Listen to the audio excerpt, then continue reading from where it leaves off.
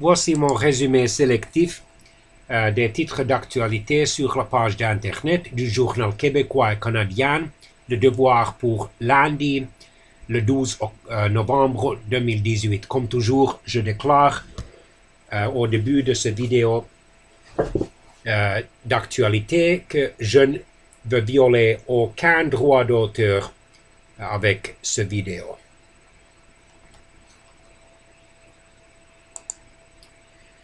Gaz de schiste, une gazière pour Sui Québec. L'entreprise albertaine euh, Quester euh, veut relancer l'exploration gazière dans la vallée du Saint-Laurent.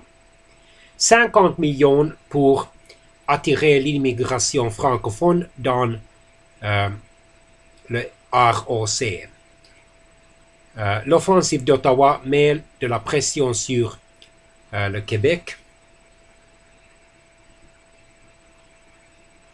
Le Canada a écouté un enregistrement du meurtre de Jamal Khashoggi. Le premier ministre canadien Justin Trudeau est le premier leader occidental à admettre que son pays a entendu les enregistrements.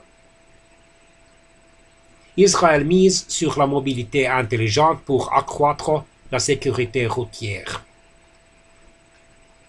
En Pologne, un trou dans la mémoire collective. 50 ans plus tard, l'héroïsme des Polonais fait toujours de l'ombre à la mémoire de la Shoah ou l'Holocauste.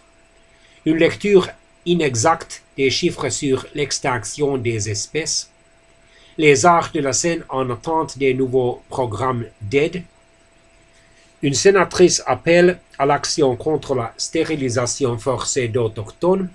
Yvonne Boyer souhaite que le Sénat étudie la question à l'échelle nationale au moins 31 morts dans les incendies ravageurs en Californie.